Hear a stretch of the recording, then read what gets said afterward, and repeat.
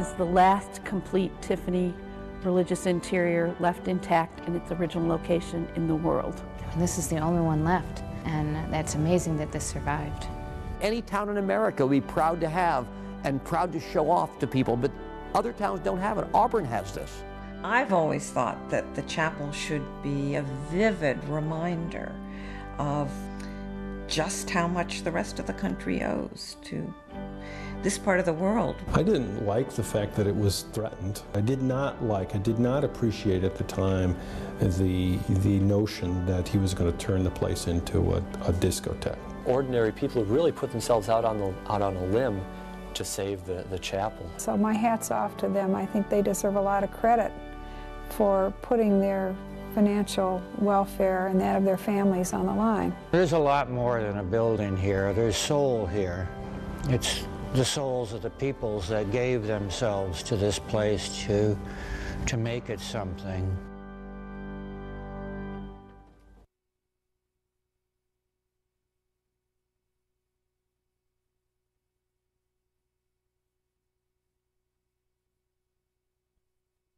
This church building in Auburn, New York, is an important part of America's heritage and a significant work of art recognized around the world. If its carved wooden walls could talk, they would bear witness to some of America's most important political and religious leaders of the past two centuries. They would echo the refrains of joyous songs of praise, sung by generations of faithful worshipers. They would tell the story of how one of America's most celebrated designers fashioned a glorious house of worship for a theological seminary in upstate New York and how a small group of dedicated citizens risked their own futures to preserve this treasure from their past. This is Willard Memorial Chapel, aptly dubbed the Tiffany Treasure of the Finger Lakes. Listed on the National Register of Historic Places, it attracts thousands of visitors each year. But this Tiffany treasure may not immediately jump to mind when people think of Auburn. The city is perhaps better known for some of its other important historical figures and the structures that bear their names. The Seward Mansion, home of Secretary of State William Seward, and the Harriet Tubman Home, a reminder of Auburn's proud legacy on the Underground Railroad. And the city may be best known today for another structure, the imposing concrete walls of the Auburn Correctional Facility. But Willard Chapel is unique, both because of its history and its pedigree. The chapel is the only unaltered religious building in its original location with an interior completely designed by Louis Comfort Tiffany. It is astonishing just how closely tied this building is to some of the most important events and people in history, from upstate New York to the far reaches of the earth. Equally remarkable is how this awe inspiring chapel survived three separate scares that could have destroyed it. The story of Willard Chapel is the testimony of people of faith and vision, people who followed their callings and left a lasting legacy.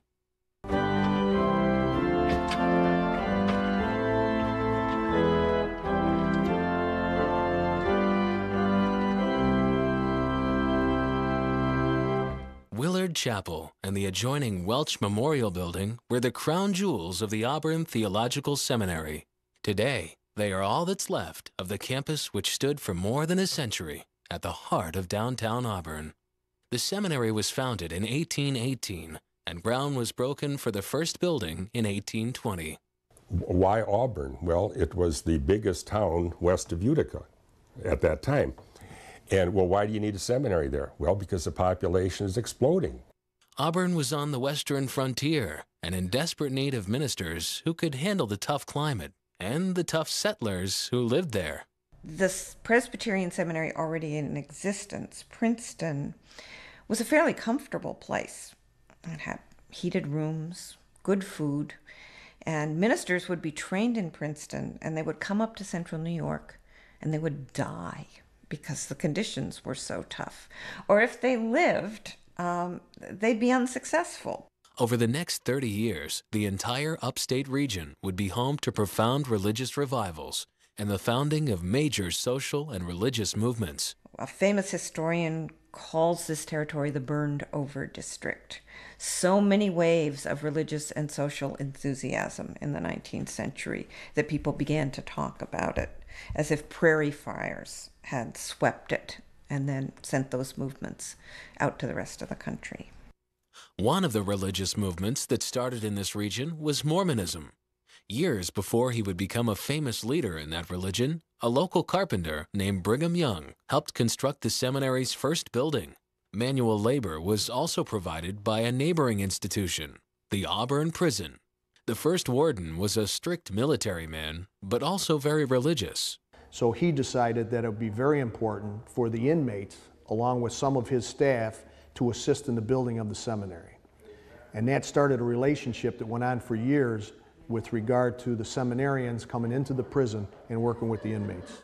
Even after the seminary's removal in 1939, there would still be a strong connection between the prison and Willard Chapel. Reverend Dirck Cornelius Lansing is known as the father of the seminary. He labored for more than 10 years to get funding and support to start it. Reverend Lansing is described as a gentleman preacher of the old school who believed that pastors should preach the whole gospel not omitting its severe aspects. He was one of the first professors. Because he was also the pastor of Auburn's First Presbyterian Church, and because money was tight in the early days, a recurring theme in the seminary's history, he served without a salary for the first five years. Classes started in 1821 with a total of 10 students and three professors. It wouldn't take long for Auburn graduates to begin to make their mark on the world. The other professors were Reverend Matthew LaRue Perrine and Reverend Henry Mills. Dr. Perrine's teaching is the first evidence of another historical theme controversy over church doctrine. Some of the Orthodox Presbyterians from Princeton accused him of heresy, of preaching a different gospel. The difference is minor by today's light, and historians would stoutly defend Perrine from this criticism. But from its inception, Auburn was willing to take risks. In stark contrast to other seminaries, it gladly accepted students from all Christian denominations. Their concern was bringing people into the church, um, converting them, changing their hearts, more than it was um, instructing them in the very fine points of Calvinist doctrine. Two centuries later, the names Perrine and Lansing live on in Auburn, only a few blocks from Willard Memorial Chapel. Music would play an integral role in the history of the seminary and the chapel. The third professor, Dr. Henry Mills, was the first to publish hymns. He also translated a volume of songs from German to English.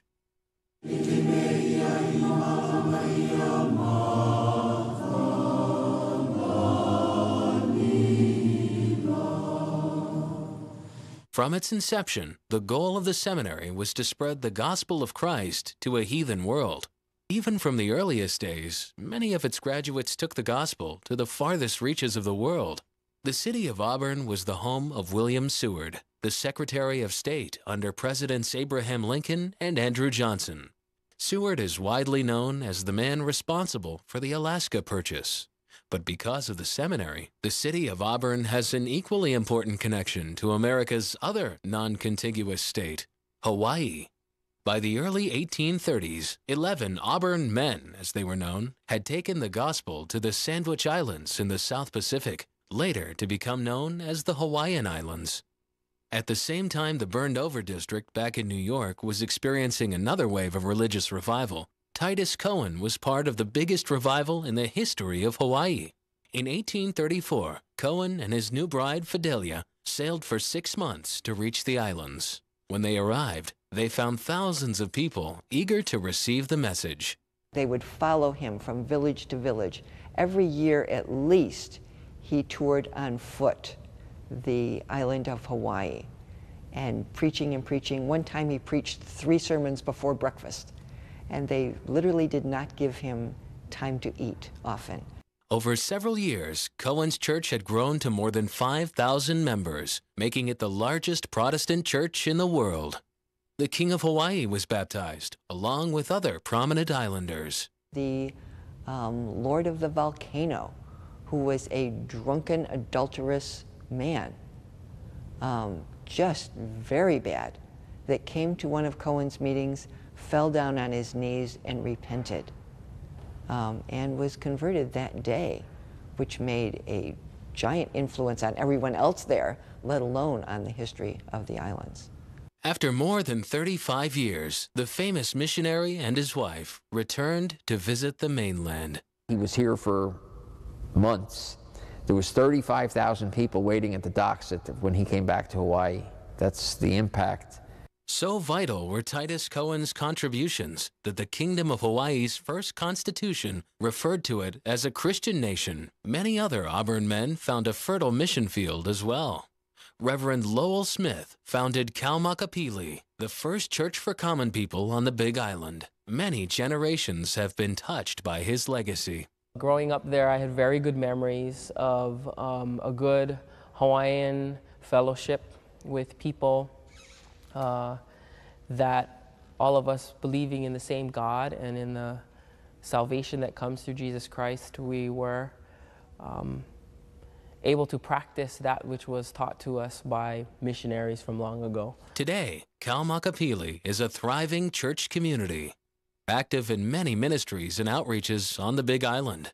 But they've never forgotten the Auburn men who got them started.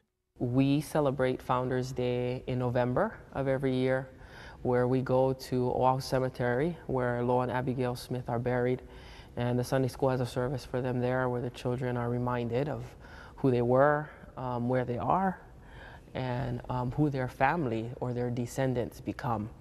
Lorenzo Lyons of the seminary's class of 1831 became the widest read non native author in Hawaiian history. He is most famous for translating over 900 hymns from English to Hawaiian. His hymns are still sung in churches on the island to this day.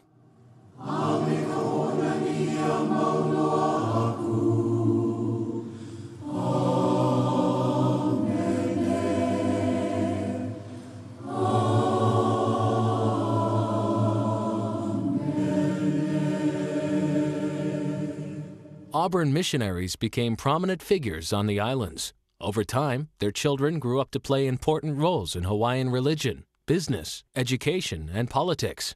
Some played important roles in the U.S. annexation of the islands.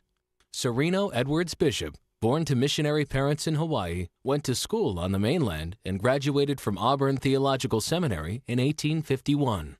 Bishop was a pastor as well as a highly renowned scholar in many fields. He is credited as the first person to document a ring of light that appears around the sun after a volcano, a phenomenon now known as the Bishop's Ring. He was also the editor of a prominent magazine called The Friend and is credited with coining the phrase that has been used ever since to describe Hawaii as the crossroads of the Pacific. Reverend Bishop's writings were very influential. They helped persuade the United States to annex the islands, a move that would eventually lead to Hawaiian statehood. The missionary spirit carried Auburn men to every inhabited continent on the globe. Auburn graduates traveled to Ceylon, Siam, Burma, Persia, China, India, Patagonia, Australia, and Africa. The missionaries were not always greeted as warmly as they were in Hawaii. This 1896 newspaper article tells how Reverend Henry Samuel Barnum was nearly killed as a missionary to Turkey. Harput was invaded by Kurds and Turks. They joined in bombarding the college with two cannon. I was shot at twice at short range but escaped. Reverend H.S. Barnum, with his wife and daughter, had just left the church as it was blown up with a bomb. Another one of the most historically significant graduates was Reverend Guido Verbeck of the class of 1854. This Auburn man is considered one of the most important foreigners in the history of modern Japan. He helped translate the Bible into Japanese. He taught English, German, and Dutch. And over time, he built trust. You've got to remember there was a hatred of foreigners. Foreigners were supposed to stay in port treaty areas, and he was able over time to move out and live with the natives, which was very important in the future roles. Verbeck's students were among the most powerful and influential figures in Japanese politics and culture. They included the first prime minister, the founders of the Japanese Army and Navy, and a host of leaders in the Meiji Restoration movement. At the request of his students, Verbeck helped establish the Imperial Tokyo University. He would later be awarded the Order of the Rising Sun, an extremely rare honor for a foreigner. Verbeck lamented the fact that he only accomplished two baptisms in his first 12 years there, but his work was not in vain. He was able to set the stage for other missionaries to go in. This was he was the, the trailblazer. Because of Verbeck's work, many young Japanese men would later attend Auburn Theological Seminary and return to plant churches in their native land. Today at Willard Chapel, there are still reminders of the seminary's influence in the land of the rising sun. This Japanese larch tree is believed to have been a gift from a grateful graduate. Verbeck's son William was the first white Christian boy born in Japan after the ports were opened. He grew up to become a general and later the longtime headmaster of a private school in Manlius, now known as Manlius Pebble Hill. Before the campus closed, more than 140 missionaries had gone to foreign lands, but graduates didn't have to move around the world to leave their mark on it.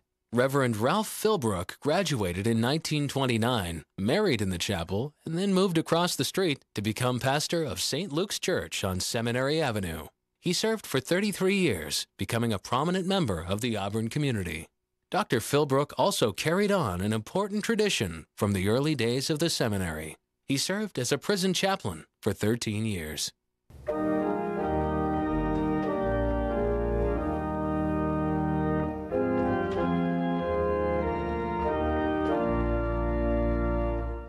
Maltby Davenport Babcock of the class of 1883 left a musical legacy. He became a pastor in Lockport and later in Baltimore, and then at the influential Brick Presbyterian Church in New York City. Babcock wrote the words to the famous hymn, This Is My Father's World, which still appears in many Protestant hymnals. The song remains so well loved that it was recently recorded by Christian pop singers Amy Grant and Jason Cork.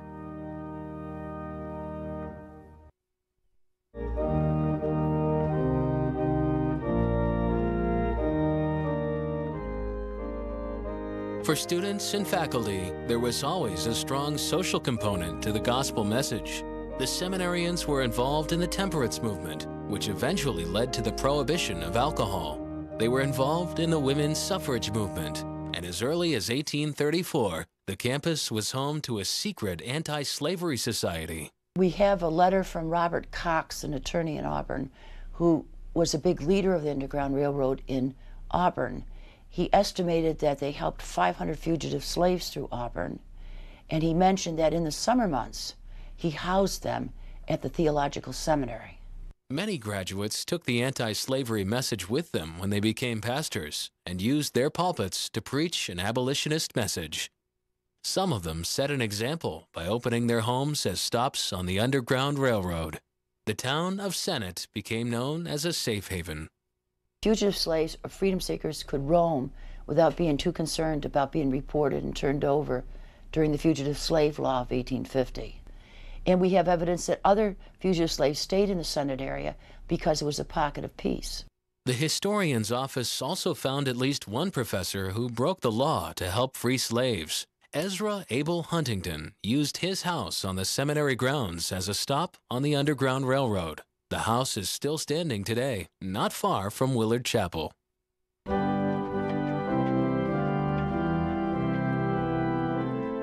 The seminary prided itself on its orthodox doctrine and its excellence in scholarship.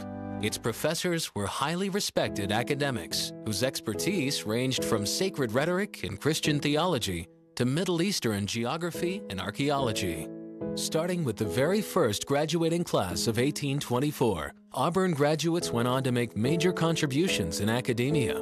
From that first class of 1824, Reverend Stephen Peet became a co-founder of Beloit College and of the Chicago Theological Seminary. More than a dozen others would go on to become presidents or founders of more than 20 colleges, universities, and seminaries. With such a prominent reputation, it's no wonder that Auburn was a major player in the biggest theological debates within the Presbyterian Church. In 1837, the church split into two camps, the New School and the Old School. At the General Assembly that year, new school graduates were turned away. The Exscinding Act of 1837 declared that the synods of upstate New York and the Western Reserve had uh, were were not Presbyterian and had never been so. The delegates who weren't seated regrouped and retreated to Auburn. They issued a statement proclaiming that they were in fact Orthodox Presbyterian Christians. When the two sides finally reunited after the Civil War, this Auburn Declaration was adopted as one of the bases for reunion.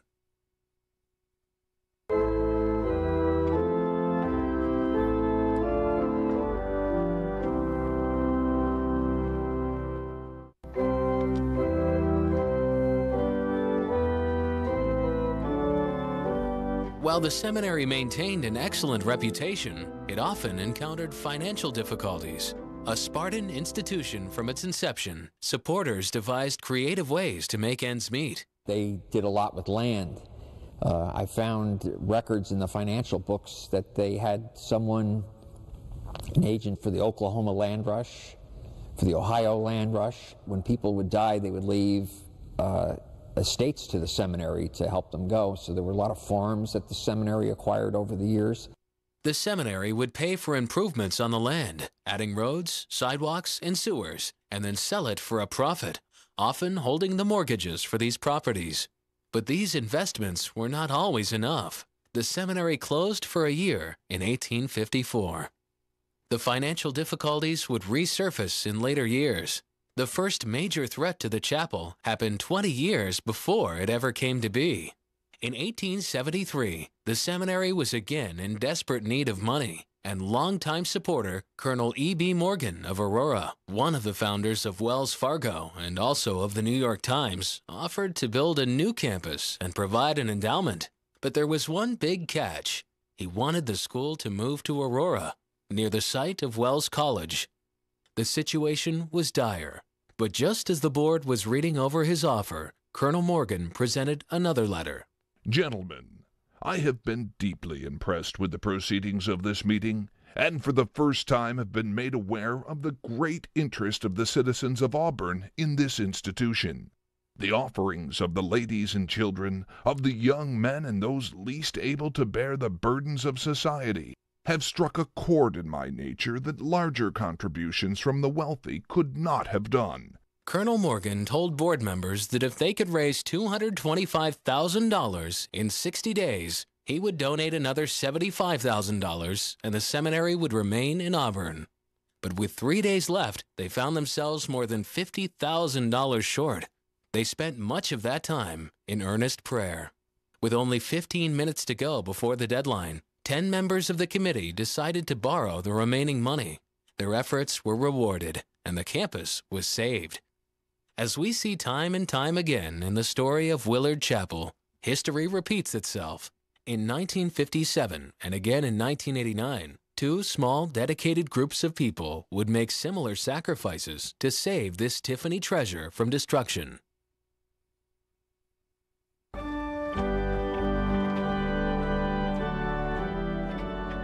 As soon as they had secured the $300,000, the board members decided to build a new dormitory. They named it Morgan Hall. In 1880, Dr. Sylvester Willard, the secretary of the Board of Trustees and a longtime supporter of the seminary, donated another $10,000. Sylvester Willard was a businessman and a practicing physician. Um, he was the president for decades of the Oswego Starch Factory, and he gave generously to the causes that he believed in, many of a religious nature. Dr. Willard died in 1886 after 40 years of service on the board. His wife, Jane Frances Case Willard, died shortly thereafter in 1890. Their names and labors would soon be memorialized at the seminary they loved. 1890 also saw the passing of beloved professor Dr. Ransom Bethune Welch, who had taught Christian theology for 14 years. When he died, he left $36,000 for a new chapel and new classrooms. The classroom building adjoining the chapel would be named in honor of Professor Welch. Dr. Sylvester Willard's fortune went to his two daughters, Georgiana and Caroline. Like Many 19th century women, particularly of the upper classes, Caroline and Georgiana Willard, uh, led rather retiring lives. They did read widely, they were patrons of particular artists, and they were extremely generous supporters of um, various causes within the community. The Willard sisters thought a new chapel would be the perfect tribute to their loving parents. They donated $50,000. They also opened the door to hiring Louis Comfort Tiffany, a well known glassmaker and designer from New York City. I know that in their heyday they split their time between Auburn and New York, and they did have a social relationship with Mr. Tiffany, and they impressed upon that relationship to have him design their chapel. They asked Louis to design and make the memorial window, which is the window with Jesus and Peter on the water. When he came to see the site, because the buildings weren't built, he wanted to see the site, he met with the Board of Trustees and the sisters. And at the end of the meeting, he stated that his artisans would do the whole interior. Ground was broken for the two buildings in October of 1892. The Romanesque exterior, made of Cayuga limestone and trimmed with Portage sandstone, was designed by Rochester architect A.J. Warner. But it was the exquisite interior of the chapel that captivated the public when the building was dedicated in 1894. By that time, Tiffany was already a well-known decorator and designer. It was certainly a feat for this small school to hire him for the project. He was expensive. You had to have money to afford him, and uh, some of his lamps that were made cost more than most people at the time made in a year's salary. The chapel would be a showcase for Tiffany to demonstrate many of his famous techniques and to experiment with others. If you explore this building, you can see a lot of Tiffany's earliest uh, design ideas. So one of his innovations was called drapery glass, to make the folds in a gown or a piece of cloth, he actually had the folds in the glass surface. There are huge chunks of glass that stick out an inch and a half to almost two inches from the surface of the uh, window itself. Tiffany uh, was known for plating his windows. By that I mean he'd have more than one layer of glass leaded on top of each other. And one of the reasons they developed that is up until that time, windows were heavily painted. Paint was applied to the windows to modulate the light, but it tended to make the windows flat and not exciting. And Tiffany, among others, wanted to bring back the glory of the glass itself. We had a visitor come in um, once whose father worked under Tiffany, and he said that he, as a child, he remembers seeing Louis Comfort Tiffany walking around the factory, and he always had a cane with him. And when the glass was finished, he would they take the big sheet of glass out and he would look at it. If he didn't like it he would take that cane and smash the whole pane of glass but the windows are not Tiffany's only work at the chapel. The mosaic is an excellent uh, example of Tiffany's work. It's uh, tiny little pieces of glass set into plaster, and uh, many of them have gold or silver foil put on the back to give it a more reflective and, and light-giving uh, look. The mosaic was designed by Tiffany, but signed by one of his top artisans, Jacob Adolf Holzer. The inscription honors Dr. Sylvester Willard and his wife and quotes the Apostle Paul's first epistle to the Thessalonians remembering without ceasing your work of faith and labor of love and patience of hope in our Lord Jesus Christ. A newspaper article from the chapel's dedication explains the other symbolism. The majestic angel in center symbolizes hope.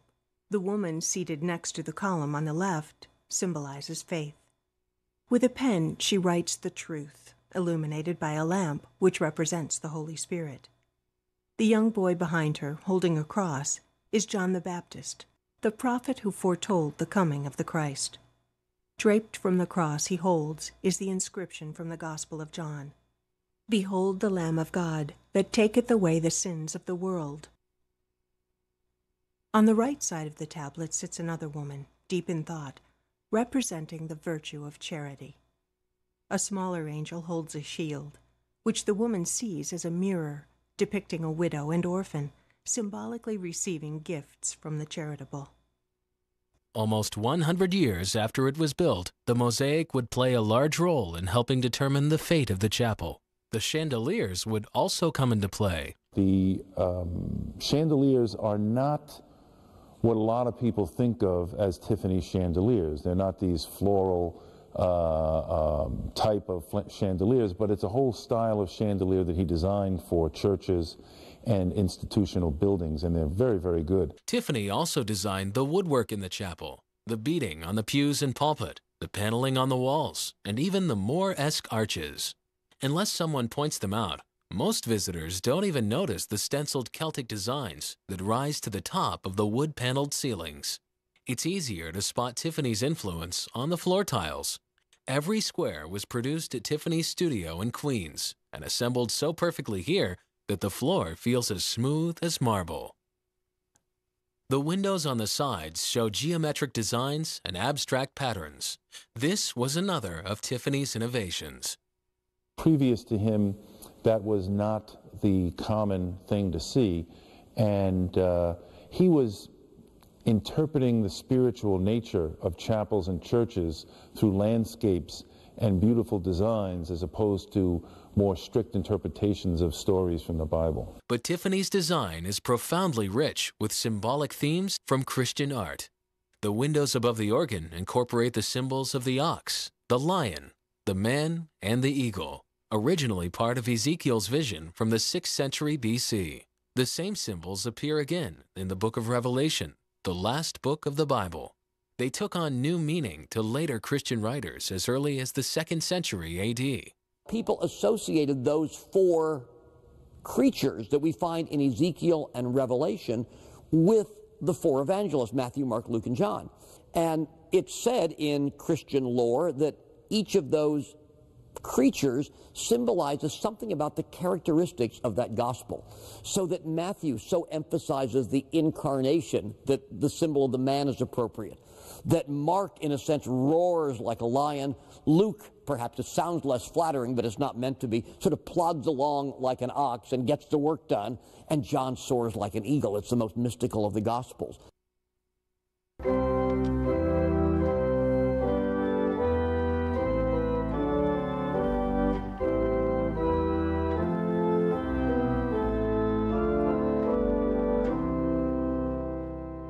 On the back wall, above the mosaic tablet, is a stunning figural window. It is based on a painting by English artist Frederic Shields called Christ Sustaining Peter on the Water, taken from the story described in the Gospel of Matthew.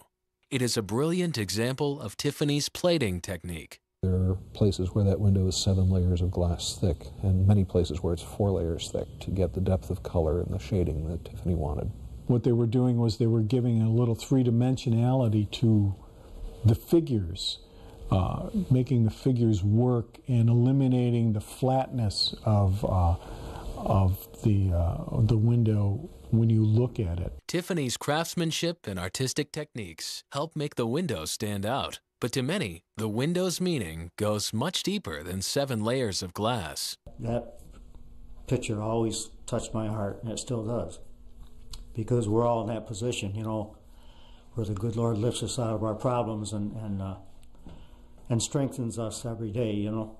And at the time that the Community Preservation Committee got together to undertake this process, you know, there were there were many nights that we came into the chapel and and basically used that window as as part of the inspiration of this project, you know, trying to get some help, so to speak. And I think it's an important symbol where you have this loving Jesus embrace this Peter because Jesus knows Peter's fallibilities so well. And yet, that embrace, I think, is a very warm embrace for everybody who walks in because if you know what kind of a creature Peter is, hey, this is the guy that's going to deny Jesus. And then you see this warm and, and, and rescuing embrace. Well, if that doesn't make you say, boy, you know, if Jesus does that for Peter, Jesus does that for me, what will? I remember as sitting in church services and uh, you really didn't get the full grasp of that window unless you were on your knees looking at it. Uh, you could stand back and look and be different, but if you're on your knees and looking up, you had a whole different perspective.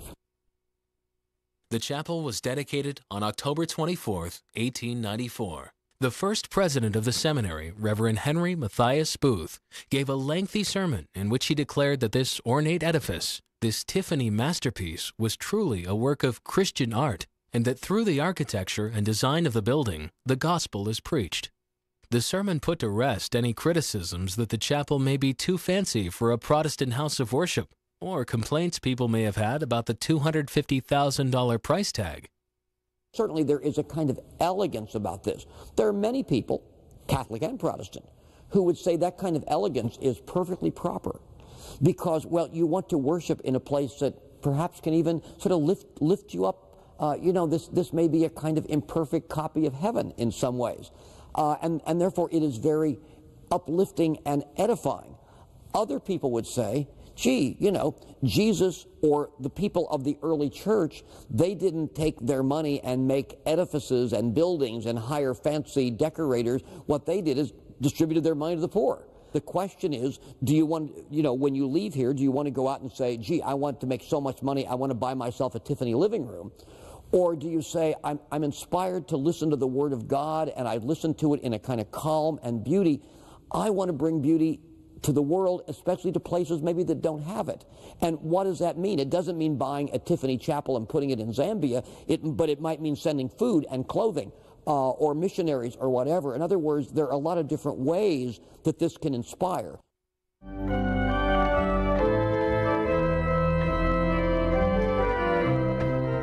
The early 20th century saw a vibrant, vital seminary. The first female student was matriculated in 1913, making Auburn a leader in training women for the ministry. In 1917, Mrs. Ida Thorne Parker, a Quaker minister in the Society of Friends, became the first woman to graduate. The campus was a center of important theological thought. The faculty featured prominent scholars and influential leaders of the Presbyterian Church. Among them was George Black Stewart, president of the seminary and a professor for 30 years. His leadership and theology would help pave the way for modern liberal Christianity. Stewart's family was very involved in the life of the seminary. His son, Harris Bates Stewart, was a professor and treasurer. His nephew, Weir Stewart, served many years on the board. George Black Stewart's granddaughter, Anne Stewart Birch, has fond childhood memories of the campus and of Willard Chapel. We went to chapel every Wednesday night. The chapel was used kind of like a student teaching uh, for the uh, students. They were practicing their sermons and so on. And we went, and I tell you, those benches got pretty hard for little kids after a while. But it didn't hurt us to go and sit for an hour, and that's they were only an hour long. So uh, my father used to say that no souls were saved after the first 20 minutes, and I think that's pretty good advice for ministers uh, or students of ministry. But George Black Stewart wasn't the only influential professor at the turn of the century. Scottish scholar John Baillie was a leading moderate voice in the church. He would later become co president of the World Council of Churches and chaplain to the King and Queen in Scotland. Baillie worshipped in Willard Chapel at the same time as another famous professor, Allen Macy Dulles, a liberal theologian who is probably best known for his famous family. His son, John Foster Dulles, became Secretary of State under President Eisenhower and was largely responsible for shaping U.S. foreign policy during the Cold War. Today, travelers who fly to Washington, D.C. recognize his name at Dulles International Airport. Allen Welsh Dulles became the head of the CIA. Under his direction, the CIA successfully overthrew the governments of Iran and Guatemala. Allen Welsh Dulles was forced to resign after President John F. Kennedy blamed him for the failed Bay of Pigs invasion in Cuba, but he later served on the Warren Commission, which investigated Kennedy's assassination. Professor Dulles's daughter also became a major player in Washington and world politics. Eleanor Dulles, an economist with a PhD from Harvard, became known as the Mother of Berlin for helping revitalize West Berlin's economy and culture during the 1950s. A Bible belonging to Professor Dulles remains in the archives of the chapel. It reminds us that his family's legacy is not only political, but spiritual. Avery Dulles, the son of Secretary of State John Foster Dulles, converted to Catholicism, becoming a Jesuit priest. A prolific scholar, he authored more than 700 books and articles. In 2001, he was made a cardinal of the Catholic Church. In Auburn, there are still reminders of Professor Allen Macy Dulles. His beautiful home on South Street is still standing. But many Auburnians now know it for another reason. It is home to the superintendent of the Auburn Correctional Facility. I really believe with the uh, relationship between the seminary and the prison, the state of New York decided to buy Mr. Dulles' house on South Street. The Dulles family connection ties the chapel to some of the most important political decisions that defined East West relationships for 50 years. Another seminary professor who taught in the Welch Memorial Building and worshiped in Willard Chapel would play a critical role in shaping American Christianity for decades to come. Reverend Robert Hastings Nichols would not only teach church history, but make it.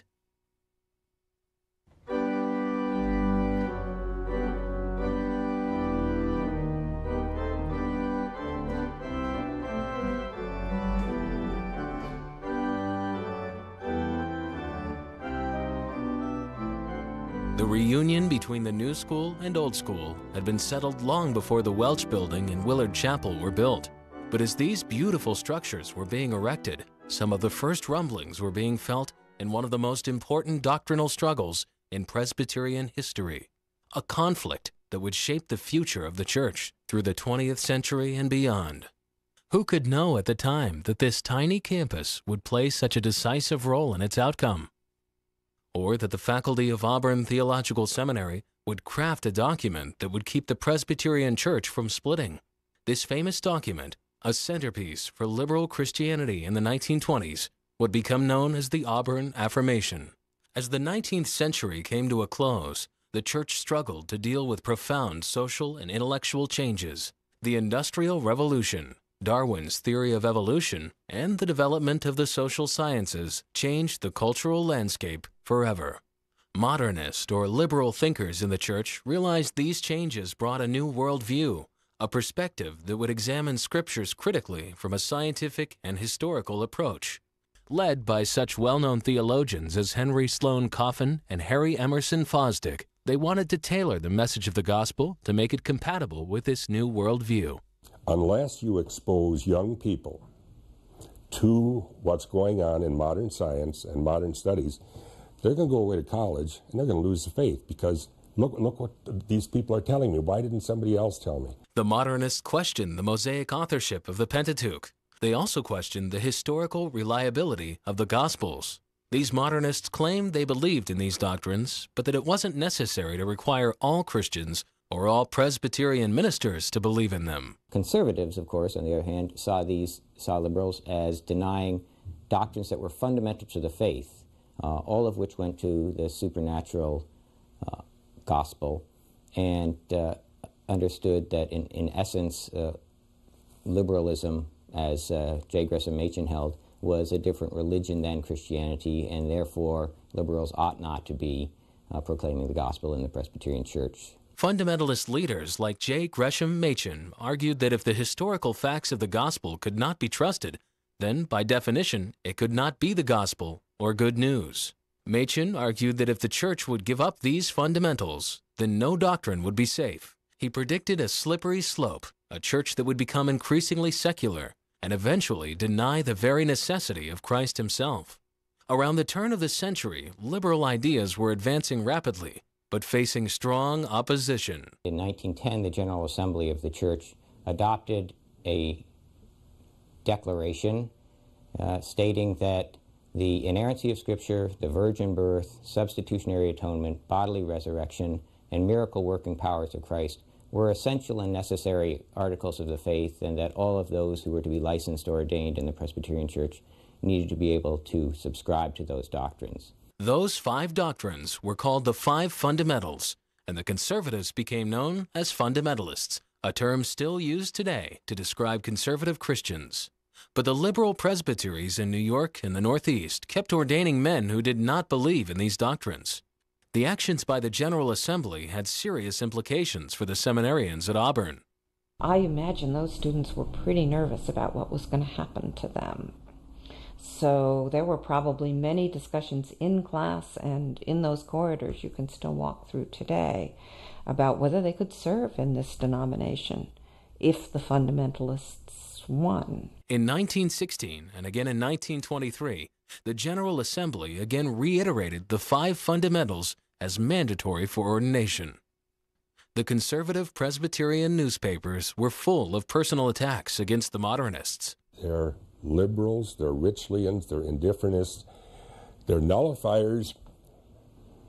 And then in the polemics of the mid 20s, and here's where I think the fundamentals made a terrible mistake, they uh, would keep talks, tossing around these words, attacking their opponents as really not being Christian, authentic Christians. The Auburn Affirmation uh, and its signatories certainly affirmed that they were sincere evangelical Christians and made a distinction between uh, uh, doctrines and facts and theories. The conflict threatened to split the church, but one man was determined to quell the controversy.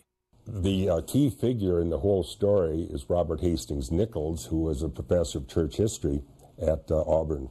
And he, uh, he was the organizational uh, genius as well as the author of uh, nearly, well, most of the, uh, the document itself. Nichols campaigned tirelessly behind the scenes to get moderates and liberals to sign on to his paper. By the General Assembly of 1924, 150 ministers had signed it. And then more people wanted to sign it after it was published. And so ultimately, this ended up at about 1,300 Presbyterian ministers. But of those 1,300, uh, 20% were Auburn graduates. The Auburn Affirmation appealed to the moderate Presbyterians who valued liberty of thought and unity in the church. But perhaps its most persuasive argument was purely political. Nichols argued that by mandating these five fundamentals, the General Assembly had overstepped its bounds and illegally amended the Constitution of the Presbyterian Church. To legally amend it, the General Assembly and the local presbyteries would have to agree to any changes. In 1925, on the verge of a church split, the moderator of the General Assembly proposed a commission to study the issue. That commission decided that the Auburn Affirmation was right, that they could not be imposed on ministers because they weren't part of the church's confession of faith.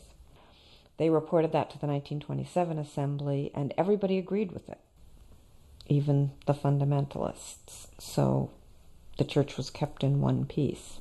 Robert Hastings Nichols had labored for more than two years to see this outcome.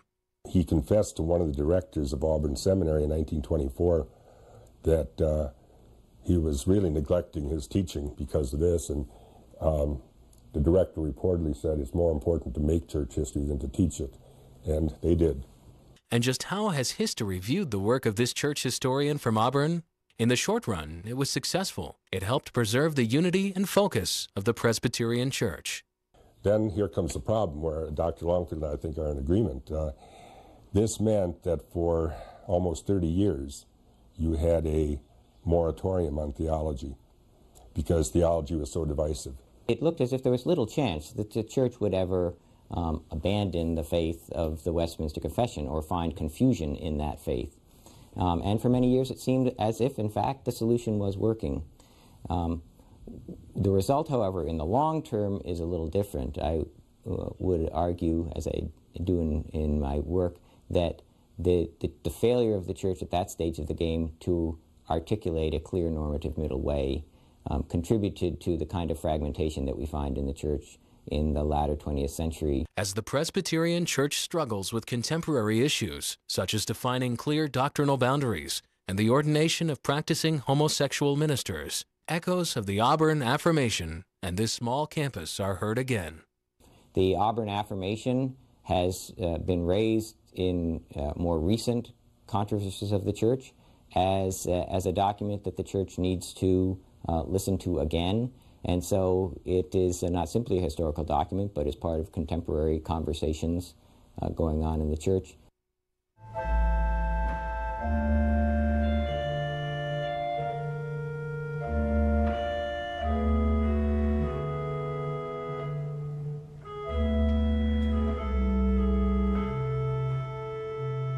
Despite its prominence in the fundamentalist modernist controversy, Auburn Theological Seminary in the late 1920s found itself staring once again into the face of serious financial problems. The city of Auburn was no longer a big town on the western frontier. Enrollment levels declined. Under the leadership of President George Black Stewart, the seminary continued to attract many foreign students, especially from Japan, and developed new programs to help bring in money. That's when they started the School of Religious Education. They did a lot of firsts here at the Auburn Seminary, uh, training Sunday school teachers. It was actually a, an accredited course that they did here. And every time they got something successful, the other seminaries would copy. The School of Religious Education did more than train Sunday school teachers. It offered many innovative courses for lay people. The courses were very successful, but they were not enough to abate the seminary's deeper financial issues. In early 1929, the seminary unveiled a new capital campaign to raise $1.25 million. It was a front page story every month in the alumni newsletter, The Chapel Bell. $250,000 was earmarked for improving the buildings. There was even talk of renovating the Tiffany interior of Willard Chapel. That's almost uh, almost 40 years, 1929, from when the chapel was built. That's a long time to go with the same decoration. By this point, Tiffany had fallen out of favor as a decorator. They say that when his store closed on Fifth Avenue, they took an entire barge load of Tiffany lamps and dumped them in the East River because they couldn't sell them. Louis Comfort Tiffany had decorated the White House completely. And when Teddy Roosevelt came in, he did not like the decor, and he threw everything out. The Victorian era was long over, and that's why 1929 they wanted to get rid of the Tiffany. A lot of people figured the Victorian era was almost depressing. But the chapel was a source of pride for alumni and faculty alike. Whether they would have followed through on plans to remove the Tiffany interior, we'll never know. The campaign was brought to a screeching halt in late October. It ended up raising $300,000, but it wasn't nearly enough. The Great Depression would prove too much to overcome. The seminary continued to find other ways to make money. In 1934, it leased some campus space to the Auburn Collegiate Center, part of a Depression era program run in conjunction with Syracuse University and the State College of Forestry. Originally designed to provide jobs for unemployed college professors, the Collegiate Center soon realized an expanded mission of providing two years of higher education for young men and women who couldn't otherwise afford it. Students paid no tuition if they brought a note from their parents swearing their inability to pay the costs of attending another college or university. They paid only a $1 fee for each course, plus the cost of books. Classes were held in the Welch Building, and students even practiced their public speaking from the pulpit of the chapel. Many would transfer to Syracuse University or other four year colleges. But despite its success, the Collegiate Center closed in 1938 when federal funding dried up. In the early 1930s, the seminary's boards knew they were facing a crisis. They appointed a commission to study the future of the seminary. In 1934, the Commission reported budget deficits in every year from 1927 on. At this rate, the deficits would soon eat away everything in the endowment funds. As they had in the past, the professors volunteered to take pay cuts. They suggested having students earn their keep by working on the campus grounds. They even suggested keeping the campus in Auburn, but having it specialize in only religious education or specialize in training rural ministers. There certainly was a lot of discussion, and they did not want to move, but economically it was the only thing they could do. One proposal was to remove the seminary to Ithaca and establish an affiliation with Cornell University. The directors eventually decided the best option was to remove to Rochester and create an affiliation with the Colgate Rochester Divinity School. To make it happen, they would need to raise $325,000 to put up a new building. But times were tough. Alumni and friends of the seminary were all tapped out after the 1929 campaign, and many did not want the school to move. It soon became apparent they would not be able to raise the funds. In October of 1938, after exhausting every possible alternative, the board of directors made the painful decision to discontinue operations at the end of the school year and dispose of the campus property at the very last moment when the seminary was going to have to simply close its doors, Henry Sloane Coffin, who'd been a leader in the drafting of the Auburn Affirmation and uh, president of Union Seminary, extended the hand of friendship, said, Come as you are, bring any faculty and students you want. Uh, he didn't propose merger, he didn't propose um, taking over the seminary's few remaining assets. It was an amazing act of institutional generosity. And so it's remained. Um, Auburn and Union have never merged.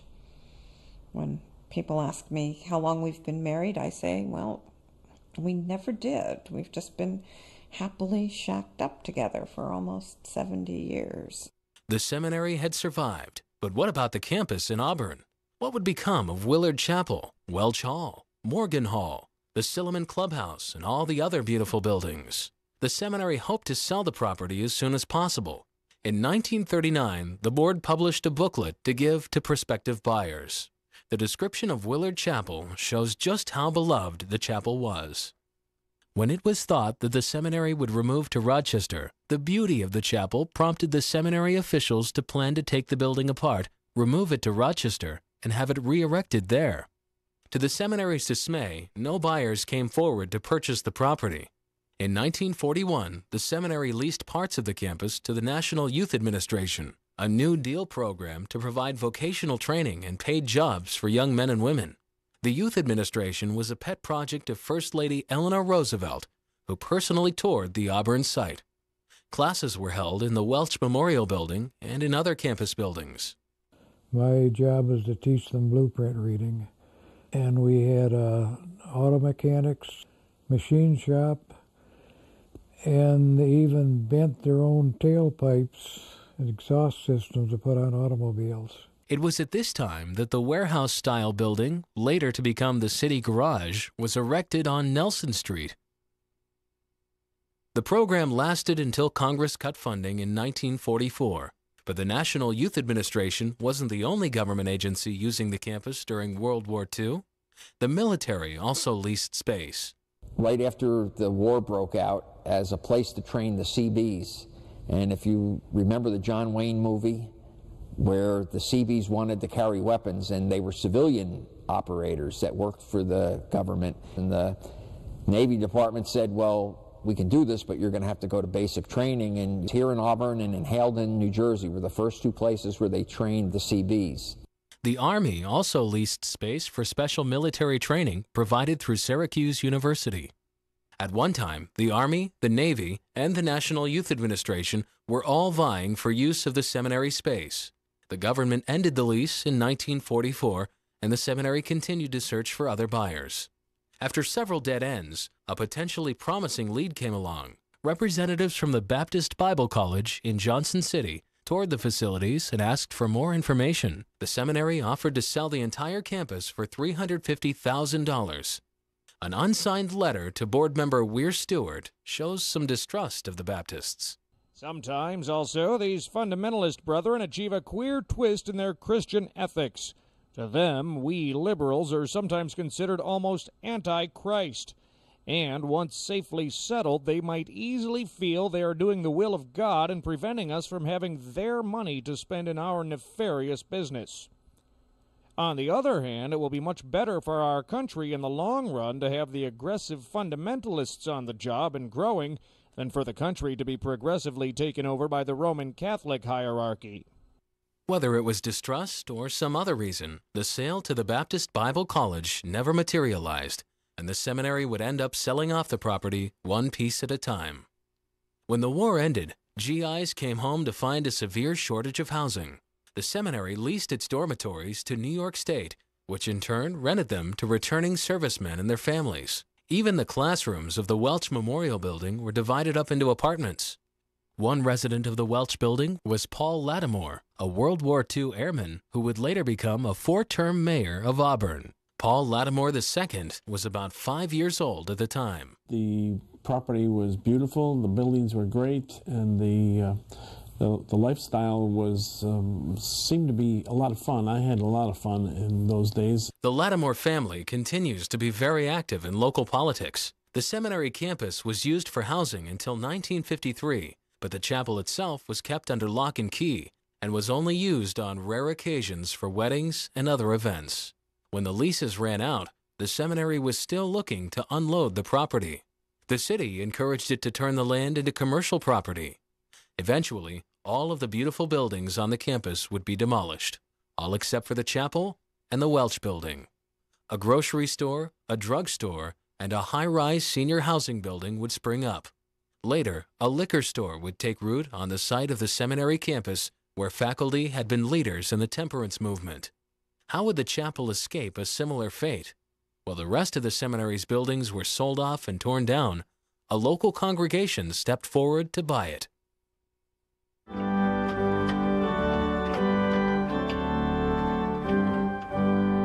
The next chapter in the life of Willard Chapel would span more than three decades.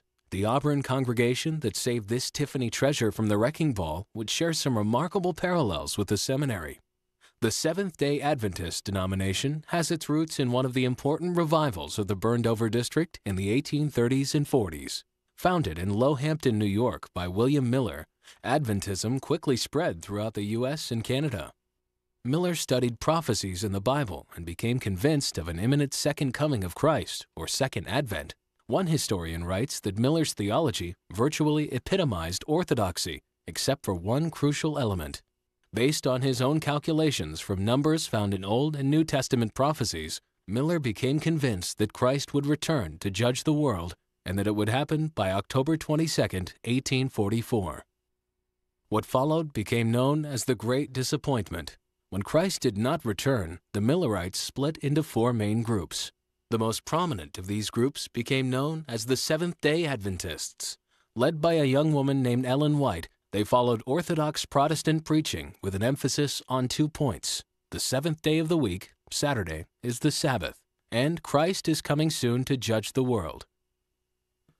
In 1850, Ellen White and her husband James lived near Port Byron and published some of the very first Seventh day Adventist periodicals in Auburn. But Adventists in Cayuga County were few in number. Eventually, they grew, and in 1950 began fundraising for a building of their own. But they were planning to build a new church. They had no plans to take over the vacant Willard Chapel. In 1957, they reconsidered the chapel and made a $10,000 purchase offer but the seminary wanted more. The Adventists made another offer of $12,000. This time, the seminary said yes. The building that had once been the crown jewel of the campus was now sold for a pittance. The $12,000 was not even 5% of what it had cost to build in 1892. For the Adventists, the purchase was a miracle, an answer to many prayers. But the chapel and Welch Memorial Building would need some serious fixing up before they could move in. Well, it, it didn't look too too terrible promising, but it was a church. It wasn't much to look at, as I recall, when we first went in there. It was like an old haunted house that had been left neglected, maybe used on October 31 and then shut down again. It was spooky. There was much work to be done, but for the Adventists, it soon became a labor of love. The people really were excited about having this as their own because they'd been meeting in other people's uh, churches and at one time in a Masonic lodge, and this was really the first uh, place they had gotten for themselves, and they really liked it. They put up drop ceilings in the Welch building and installed a new heating system. In the chapel itself, all the paint on the walls was cracked and peeling. Some 50 years later, critics would lament the fact that the Adventists changed the color of the terracotta paint on the walls and painted over the stencils on the organ pipes. But the Adventists saw deterioration that the critics didn't see. And all the chandeliers, of course, were kind of rusty looking, and the pipes on the organ were rusty. They all had to be taken down, sanded, and painted with gold the chandeliers, I can remember Paul Smith getting up and bringing, getting them down. That was quite a project to keep to get them down without breaking anything. And the chains and everything were spray painted with gold. I stood at the sink washing those prisms, getting them clean, and someone else dried them, and then they put the uh, chandeliers back together. All the woodwork in the chapel had accumulated a white, mold like substance that had to be cleaned. The dilapidated condition of the wood was too much for some of the church members, but the majority saw beauty instead of ashes. Some people, when we moved in, wanted to take wood away, and we said, "Oh no, we got to leave it the way it was," because we didn't want to, you know. Some people said much easier to take the wood off and paint it, but it wasn't. It would be. It would have been a shame. The years of neglect had left the exterior of the chapel in need of work as well. And we found that there were several louvers missing from the from the bell tower, and that had allowed pigeons to get in there and roost. And pigeon dung was like this deep, so the bell literally would not ring. It wouldn't swing anymore.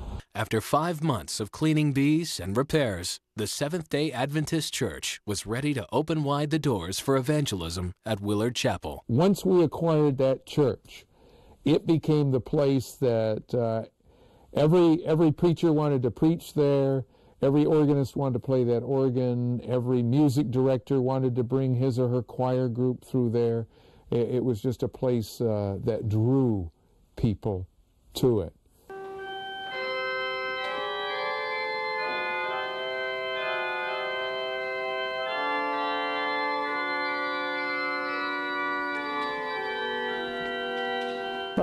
Remember most about the church is when we bought the church and we went in and had it hadn't been heated for 11 years and the organ still worked. That amazed me.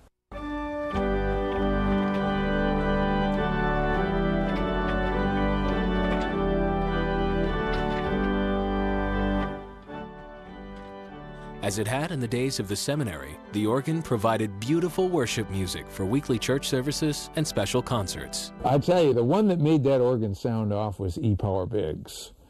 When he came to Auburn, he had his choice of organs in any church he wanted, and he chose the Tracker organ at the Auburn Church. We had people sitting all the way down the hallway outside of that chapel. The chapel's acoustics were perfect for music. Under the expert direction of Dr. Margaret Hafner, the Adventist choir performed festive Christmas and Easter concerts.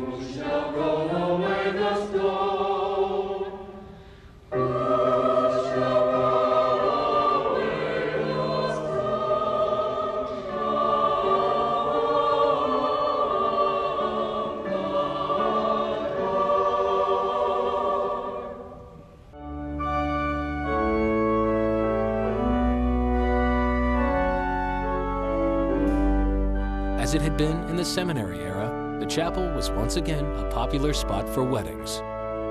We were the second ones to be married in this church after the Adventists bought it. I didn't have a showpiece wedding. I had a simple, nice, quiet wedding, and I enjoyed it. The chapel also provided a perfect venue for a popular summertime outreach. Vacation Bible School. In one year we had 75 children there. Then we took a picture and they were all lined up on the steps down below. Sabbath school and church services were held every Saturday. Between 1957 and 1965, church membership increased from around 80 people to around 120. When we first came, we looked at all the churches in the neighborhood. And the real thing, it was not so much the beauty of this church, but it was that they had enough children. A lot of families had a lot of children, and there was a lot of activities. So it was a very active church, very, a very energetic church.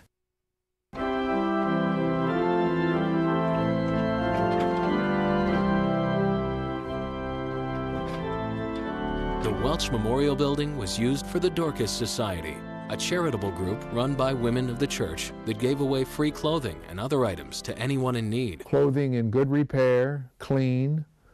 Uh, they had a washer and dryer right there at the church. We used to have people in uh, in um, senior citizen home that would make quilts for us to give to people. It sure was fun finding clothes for babies and little children and food. That was a job that I felt was doing something for the Lord, you know. The Dorcas Society helped many thousands of people over the decades and became a highly regarded service in the community. Even several years after the Adventists moved out of the chapel, people would still come, looking for the free clothing and food.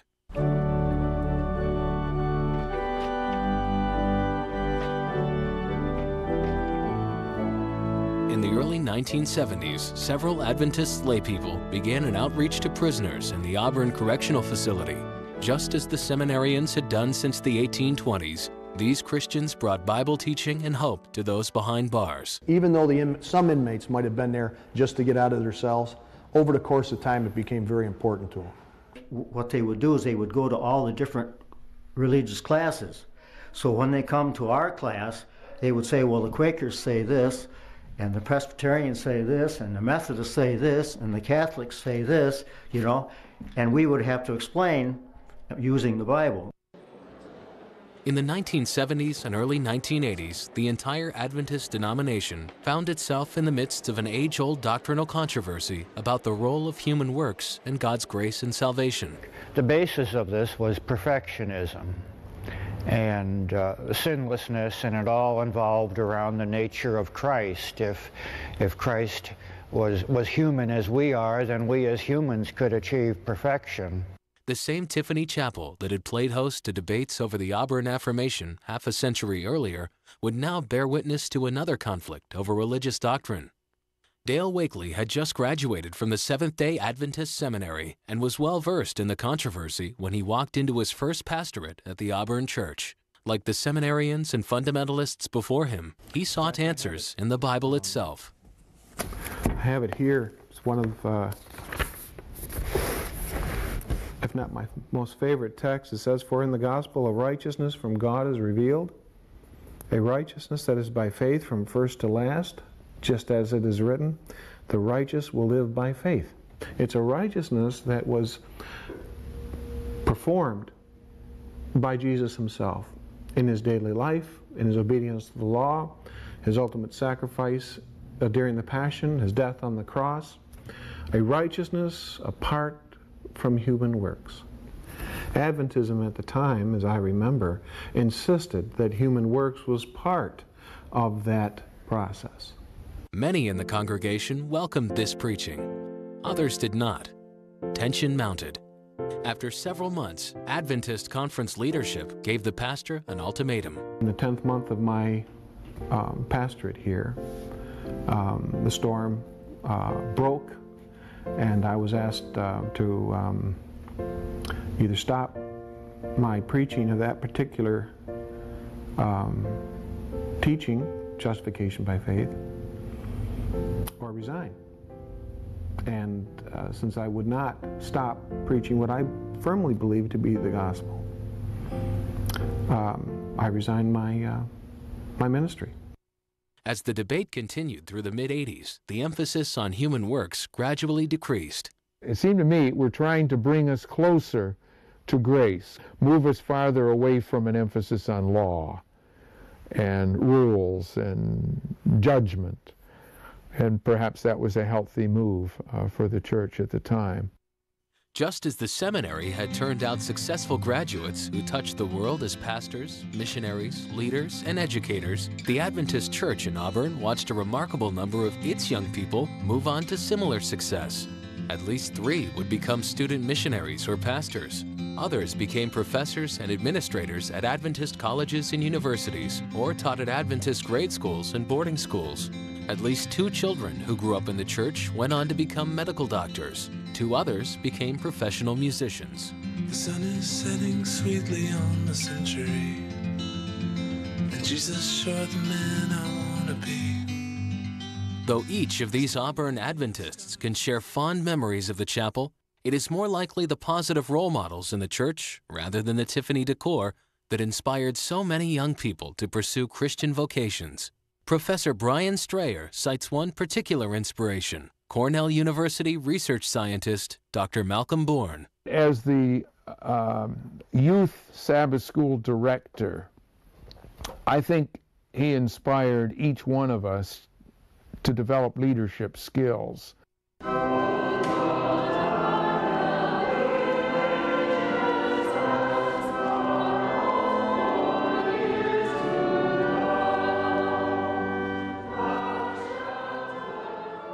The Adventists loved their church at Willard Chapel. In 1964, the grocery store Loblaws offered to buy the property. The church said no.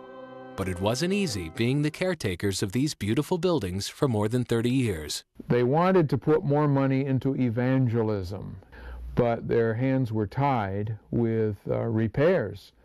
Uh, the um, clerk's minutes for the 1980s uh, basically are full of uh, uh, the roof is leaking here, uh, we need to replace the pipes over there. I mean, the concern is maintenance, maintenance and repair. Vandalism became a concern in the late 1970s. BB guns shot holes in at least two of the Tiffany windows. The church had to install deadbolts on the doors after several break ins. In each case, they would uh, take the sound system, the amplifier, and microphones, and, and the last time that they broke in, that's, that's where they came in, is through that stained glass window.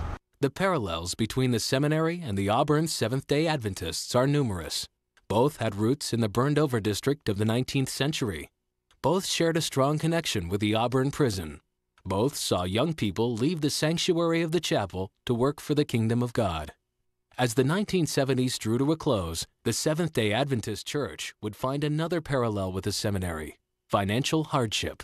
It was costing us a lot of money. We were afraid we were going to have to replace the roof, and the heat bill was just going way out of sight. We had done all that we could, including jumping 12 inches or blowing 12 inches of insulation over all the ceilings that could be done. We put plexiglass on the on the Tiffany glass, and we had updated the heating, and yet still uh, to heat the chapel on a winter day would cost uh, between five and a thousand dollars for just a church service. Gradually, they decided that the building was costing them really more than it was worth to maintain. It would be much more efficient to have a small building. We had a small membership at the time, too, so we really couldn't afford all the things that needed to be done for it. It was about this time that a small group of preservationists was beginning to realize the historic and cultural value of Auburn's proud and rich heritage. The fledgling Community Preservation Committee did not want the church to sell and offered to help find funding for repairs. But the congregation soon realized that the small amount of grant money they offered was not nearly enough. The Adventists reluctantly realized that they had no choice but to sell their beloved church home. There were a number of articles which were written which were very negative about the congregation and uh, indicated that the congregation uh, didn't care about the building and that uh, it didn't matter to us what the future of the building was. It was very discouraging to the congregation that knew what their history had been, how they had taken the building over when, uh, at a time when it looked to be that it was going to be destroyed in the first place. The church paid a local realtor to conduct an appraisal on the building. We received the document uh, which told us that it was valued at 125,000, which seemed to us, uh, of course, very discouraging and a very, very low valuation. The plot would thicken the very next day. We received under the uh, front doors of the building an offer of, to purchase the building. And the offer was exactly 125,000. Pastor Wade had a long talk with the buyer, who admitted someone from the realtor's office had given him inside information about the appraisal. I hope it's okay for a pastor to say I was not happy. I was uh, very upset.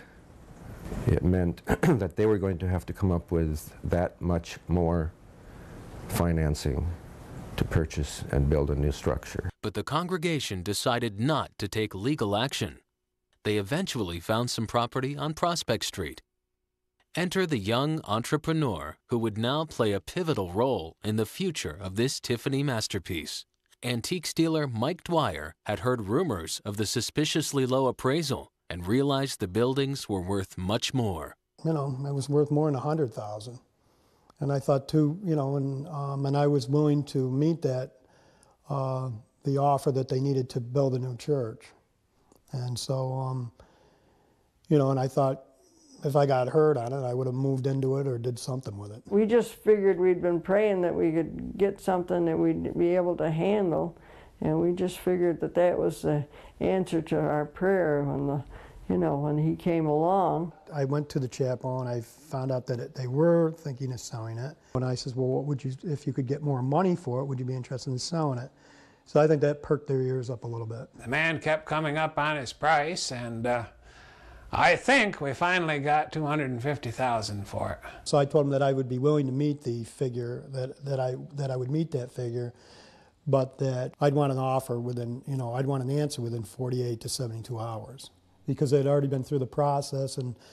Um, I felt that if it got out, there was going to be a headache about it because because when I walked into the chapel, I just couldn't believe how, you know, it was just incredible. And I thought maybe that um, you know the city would put a kibosh on the sale, or somebody would. The historical society wanted us to hold off. We we told them we would hold off, but they could uh, come up with the money. At the time, they didn't have the money, and so it was either uh, forget the sale or sell. So it was sold. The Community Preservation Committee had no way to meet the Adventists' asking price. Little did they know they would soon be asked to raise nearly twice that much to save the chapel and Welch building. After the sale, the Adventists would face another barrage of negative publicity. I had one friend that come to me and said, Well, why would you sell that? A beautiful church like that. He said, I, I've never been in there. I said, This church has been open for the public for the last 30 years and you've never been in it. I said, So why do you want to go in it now? The Adventists sold the building in 1988 and moved forward with their building project on Prospect Street. The architect was Edwin Demerit of New Orleans, who had designed many churches across the United States. He was also a Seventh day Adventist who had been married in Willard Chapel in 1960. The Adventists had many beautiful memories of Willard Chapel, but it was time to move on. So God took us into the church and God took us out of it. And uh, I didn't have anything to do with that other than moving the stuff out and in.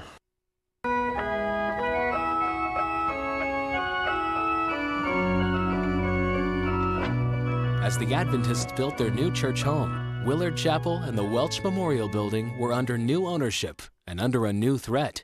How could a young businessman turn a profit on his investment? Sell it, of course.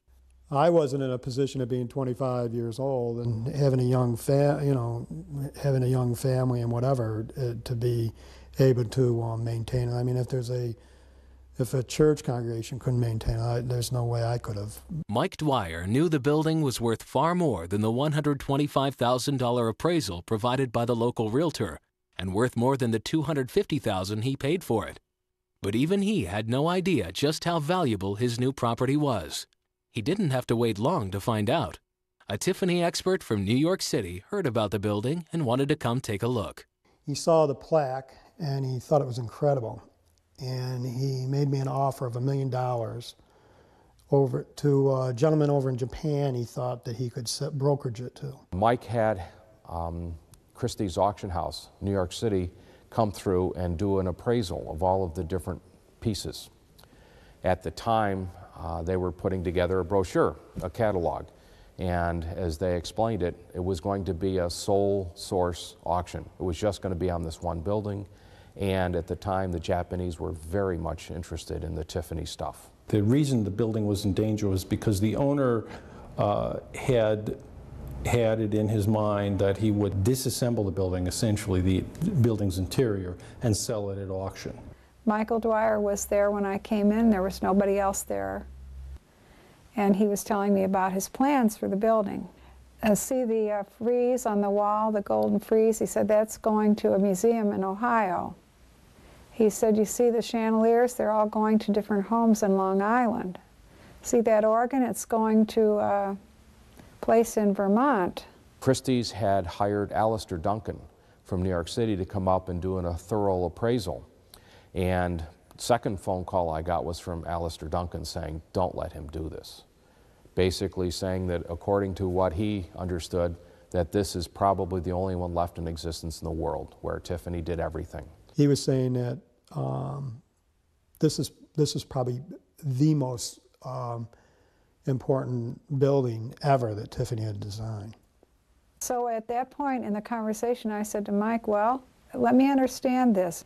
If you don't get the payment within two months, you're going to strip it, and if they do pay for it after three months, they're going to have a shell of a building inside. And he said, That's exactly what I mean. So uh, that was when I went to Mr. Beardsley and I said, You know, Michael's very serious about this. I, I think that that motivated everybody.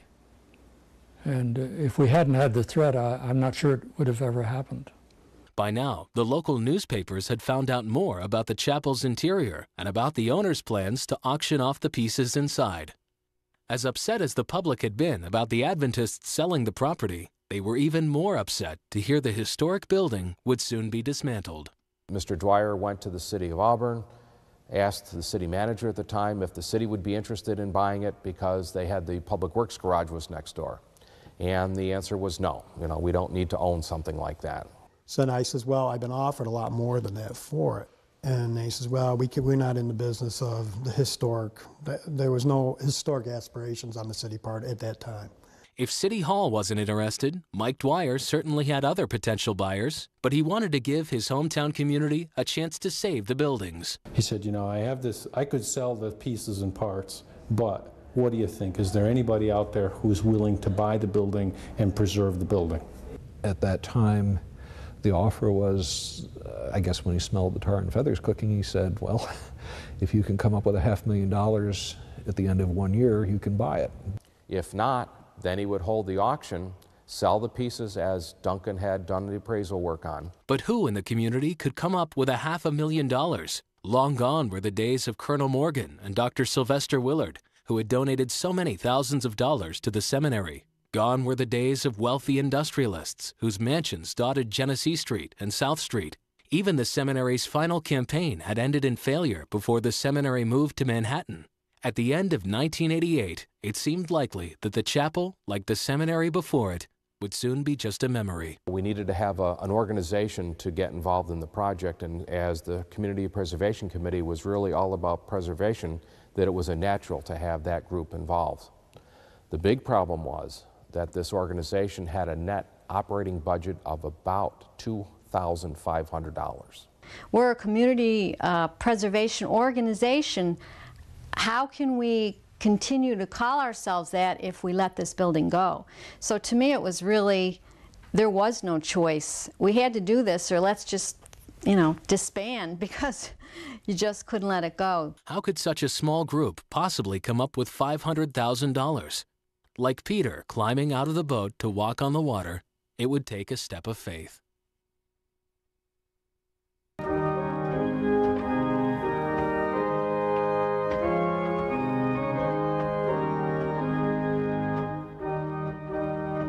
The preservationists devised a plan. The building would qualify for a matching grant if it were on a national or state register of historic places, but it would take a minor miracle to make it happen. But then, this building seems to have a history of divine intervention. It was not even recognized as an historic building. But because of the imminent danger that this building was, and because of the intrinsic value of the building, it, it got attention quickly. Believe it or not, in a six week period, it was on the state register, which is unheard of. It's bureaucracy at its finest is going through that process. And it was just, they were determined to make this thing happen. As they made up their minds to save the chapel, the preservationists started finding out more about its history and about its Tiffany interior. Numerous experts came to appraise it and to praise it. I get a lot of calls, and most of the calls end up being Iffany windows instead of Tiffany windows. Uh, everybody would love to have a Tiffany window. So when you call to a little town in upstate New York and uh, they think they have this marvelous thing, uh, sometimes you're a little skeptical. But as soon as I walked in, I knew they really had a gem. And if anything, they had underestimated how important uh, the windows and the work in the chapel are. It was early January of 1989 when the rubber would meet the road for this small group of preservationists. The antiques dealer asked for $75,000 in the next few weeks. At the same time, he would then give us the keys to the property and we would take care of the gas and electric, we'd pay for the taxes, we'd mow the grass, we would take care of the insurance costs, all of, all of the carrying costs. At the end of the year, the balance of the $425,000 is due. If you pay the money, you have the building. If you don't have the money raised, then what I do is I have the auction and I tell everybody in the world that I gave them a chance and they couldn't do it. The preservationists needed to act quickly. Frustrated with what he perceived as a lack of progress, the chapel's young owner decided to force their hand. The deadline was getting close. They didn't have the money. So the newspapers called me up one day and they said, Well, what are you going to do with it? And so I'd been to New York City before. I'd been to the Limelight. and so I told him, I says, Well, if they don't buy it, I'm going to turn it into a strip club. And that's when all hell broke loose. Newspapers ran with the story. The community was up in arms. The Seventh day Adventists were mortified. Oh, we had a fit. We didn't know what we were going to do. We couldn't, we couldn't, certainly couldn't buy it back from them. if it ever had gone into a bar, a strip club, a nightclub, whatever you want to call it, it'd be almost seem sacrilegious in a way. I guess the word I would say, he's raping the place. Really. Could the sounds of the pipe organ be replaced by electric guitar and drums? Could the Tiffany chandeliers be replaced by strobe lights and neon? Ten years later, Mike Dwyer would open this highly popular bar in downtown Auburn, full of visually compelling, attention-grabbing artifacts from Auburn and from all over the world. Could Willard Chapel have actually looked like this? In some ways, people hate this man for what he did, but it became much easier to raise the money because the threat's there. You have to do it immediately or do this or it's going to be gone. And I, I would like to know, and I never will, whether it was a threat or whether it was he really intended to do those things. It was always hard for me to tell you know how much he was how, how much sincerity was behind what he was saying some people saw the, how, how, ridiculous it was although it could have been done because it was grandfathered in there where that I could have done anything with the building that I wanted to do with it, and they couldn't have stopped me. Would gargoyles sit where Jesus walked on water? With all the decades of connections between the chapel and the prison, could this have been the last one? Not if the Community Preservation Committee had anything to say about it. The first part of this really was I need 75 grand by the end of the week. How are we going to come up with this money? With only days to act, they did what the professors had done in 1873. They decided to borrow the money. We went out into the community with a handful of people who came back and said, I'll back 10,000, I'll back 20, I'll back one. Uh, I know my wife was not very happy when I came home and let her know about this. We were all very excited when, when we finally got that and we, we paid the money. And then there was a sort of silence like, oh boy, this sort of collective sigh, like, oh, now, now what do we do? They would still need to raise another 425,000 in 12 months. For a grassroots organization with only about 30 members, it was a formidable task. Newspapers provided plenty of favorable coverage, but it was the enthusiasm and sacrifice of the people that kept the effort alive. Architect Jim Beardsley moved back from North Carolina to volunteer full-time on fundraising. Kathy Scollin quit her job as a nurse to work full time on the project. It seemed like sometimes we'd come out of meetings and we were elated, and other times we were like, oh my gosh, what have we done? So it was a little bit up and down, but I think we never lost faith that we would be successful. At least that's what they kept telling me, and I believe them.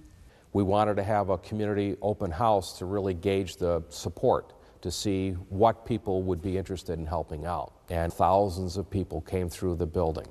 And we had a jar out in the, in the lobby, and people were stuffing 10 and $20 bills in it, and that was the beginning of the process. When they made the down payment, they also agreed to pay the operating costs. Insurance was more than 10000 a year, plus taxes, plus the heating costs, which had driven the Adventists out of the building. The state provided a $30,000 grant to help with the costs. The state would be a major player in saving the chapel, but the Preservation Committee was also looking for private contributions. It's, it's tough in this neck of the woods. There's not a lot of money. We don't have any dominant industry that we can go, we can't go to a GE or a GM and say, hey, look, you know, this is, you're in this community, can you give us a million bucks? We approached uh, the obvious influential, wealthy donors, and we didn't get very far. And uh, the general question was that they didn't think we could, if we, even if we were able to maintain, get it, they didn't feel we could hang on to it. But um, we decided we'd prove them wrong. In the mail, we'd get, you know, um, $2. we'd get, you know, $5 checks. So, and I, and I think really that's better for the survival of the organization because it's a real community-based effort. I had one gentleman from New York City, this um, limousine comes driving in and a gentleman gets out. He pulls a big wad of money out of his pocket and he wants to buy a chandelier. and I'm thinking, oh gee, boy, as much as we need that money, I just can't do that. You see, this is a complete design. The outpouring of community support harkens back to 1873, when Colonel Morgan was moved by the support for the seminary, even from those who couldn't afford to give. While the threat to turn the building into a nightclub may have galvanized public support for saving the chapel, the $500,000 price tag may have turned some people away. You know, why did he need half a million dollars? That's not what he paid for, the property. You know, how much is how much is enough? You know, let's let's let's take a reasonable profit and not double. Many people in this small community thought that was too much money. They thought that this guy's making making money on the deal. You know, we didn't get support from a lot of local people because of that. I mean, I was profiting on it, but I wasn't profiting on it like anybody could have. Clearly, he could have gotten a lot more if he broke it down and sold to individual collectors because the collectors are all over the world and they will pay a tremendous amount of money for a documented Tiffany window. And these windows are, not, are documented in the book that was put out by the studio in 1912. It lists the Auburn Chapel, it lists the, you know, the windows and the mosaics and a number of other the items. And I wanted to make sure that if I sold it, that, you know, this would also um, be a way for the building to be kept intact forever. When local foundations were hesitant to help, the volunteers took their plea nationwide. And we sent, uh, oh, probably 40 or 50 letters to selected foundations. And some of the gifts uh, were quite substantial. I, I believe one was around $35,000.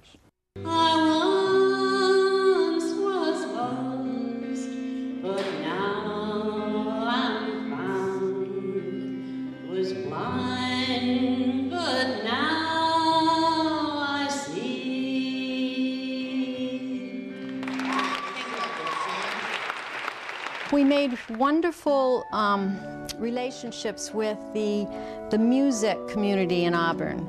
Um, they, they jumped right up and they were going to, you know, perform concerts and draw people in, and, and that's really what happened. We had a lot of, lot of concerts.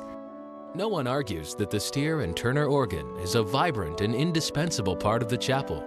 There has been much disagreement, however, about the instrument's origin. The original chapel design definitely called for an organ, but it's unclear whether this was the organ that was specified and uh, it perhaps was added later. There's a couple people who theorize that it was added later. The wives' tale was that this organ wasn't original to this building. And since we've come here, we've learned that isn't true. The rest of the Welch building sits all on steel piers and steel girders supporting the floor. And the chapel has two laminated wood beams that run the length of the building, come right up under the organ. It reverberates like the soundboard in a violin or a stringed instrument would. When you sit here and the organ plays, you don't only hear the organ, you feel the organ right through the floor and in your seats. They would have just sat this on steel if there wasn't any music in here. But if this organ was designed for this chapel, why does it conceal two of Tiffany's windows, making them visible only from the outside of the building? Tiffany would not have wanted anything to cover up his work, so he obviously did not know that those pipes would be covering his window. but what if all the windows went up first and the organ was added later?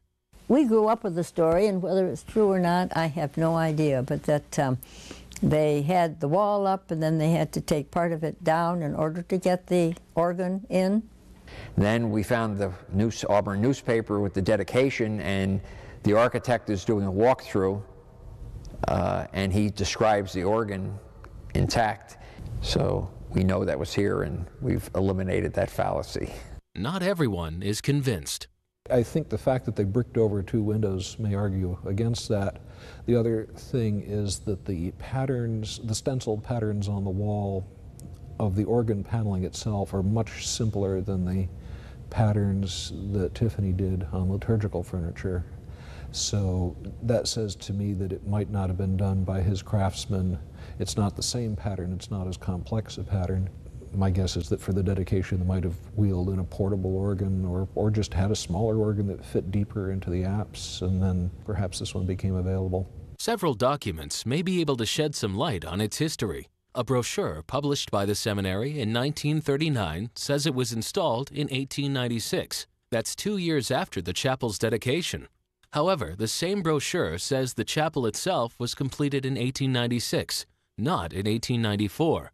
Perhaps the most compelling evidence that this is the original organ is a newspaper article from May of 1894, five months before the chapel's dedication. The article describes a two manual Steer and Turner organ. The spelling of Steer is different, but the description perfectly matches the current organ. Could it be that this is the original organ, built right here in the chapel, but that it was installed very shortly after Tiffany had finished his work? This would allow for the differences in the stencil designs and for covering the stained glass. It would also explain the story of the torn up walls. One thing is certain the organ has inspired many generations. I feel privileged and blessed to play with the beautiful ambiance of the building. It's very uplifting for my soul.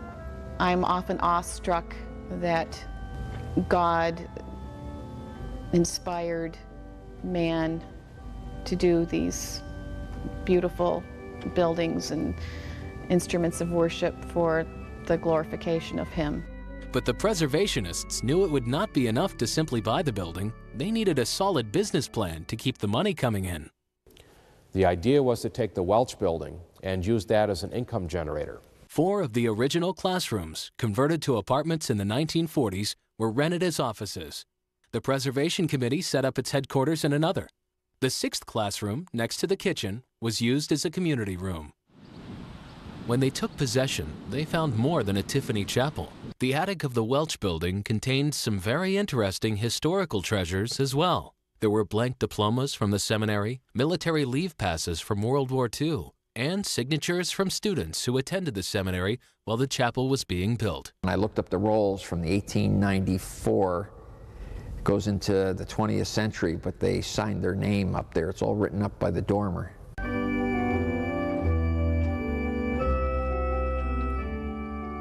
The chapel was rented out for weddings, providing another steady source of income. Several state grants provided money for a new fire door between the Welch building and the chapel, and for a wheelchair access entrance and elevator. But the biggest help came in the summer of 1989. We were able to have the number one rated project in the state, and we got a $285,000 matching grant. That was such a, a huge boost, you know, to our efforts because we were, you know, we were four, five or six months into this campaign. We didn't have a lot of time left when you think about it, and there wasn't a lot of money there. There was a lot of enthusiasm, and you know, we were hoping to sort of hit our stride. And this this grant came along. It was just terrific, terrific news. The hardworking members of the Preservation Committee kept sending out letters and making calls, and the donations kept trickling in. But as the end of the year approached, they were still short of their goal. Once again, they decided to borrow the remainder. Then, just two weeks before the deadline to buy, another plot twist blindsided the preservationists and put the chapel's future into jeopardy again. The state had a rule that basically says you go out, have the appraisals done, and that becomes your purchase price. They don't want to see the, the person who owns the building being short, shorted. And at the time that we had the appraisals completed, it came in about $1.8 million. The state of New York said to, to us, well, you're only going to give him $500,000 for it. That's not fair. That doesn't meet our state laws. well, this is another thing. I could have backed out. I think I could have backed out of the deal at that point, and I still wanted the building saved. The preservationists had tapped every resource and turned over every stone to raise $500,000 that year. There was no way they could raise another 1.3 million in 2 weeks. So I kind of came up with a, uh, an idea that I pitched to the state, and that was can I have him give us a charitable contribution of the difference between what he's agreed to sell the building for and what these appraisals come back at? So, in essence, we get a $1.3 million contribution on paper from the antique dealer, and he accepts the $500,000 cash that he had agreed to. So the sale went through with $500,000, and then I also got a uh, significant tax uh, deduction on it.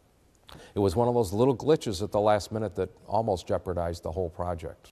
In March of 1990, the final paperwork went through.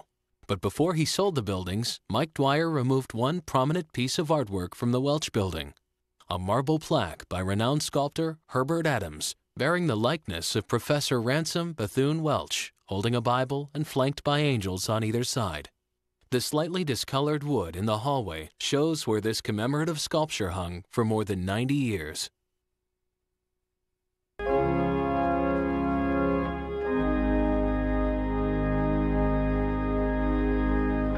Today, the chapel is a National Historic Landmark, a proud part of Auburn's heritage and a prime draw for tourism. Last year, we had a, um, a TV crew come in for a show that's called Seasoned Traveler that's going to be airing next year.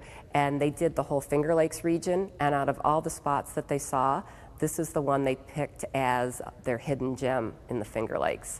Last year, more than 20,000 visitors passed through the chapel doors.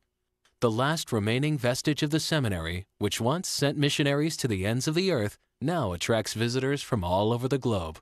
And every year the, the guest book, you know, got fatter and fatter and fatter. And people came from all over the world. And when I say that, it sounds so weird. Why would somebody from Australia come here just to look at our Tiffany Chapel? And somehow they heard about it. While tourists come from all over the world, many local residents are surprised to find they have a personal connection to the chapel. My paternal grandparents were married there in 1899, and we wanted to get married there as well. They got married in August in 1899, and we did it a hundred years later. My great great grandfather graduated from seminary, left, and had a full career as a minister in northern Illinois, which is where I was born.